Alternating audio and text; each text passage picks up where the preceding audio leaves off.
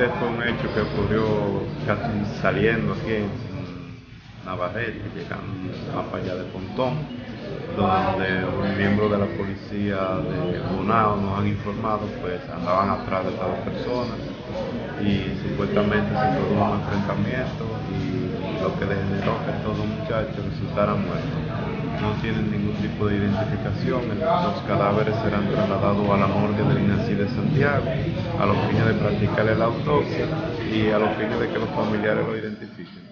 Las calientes.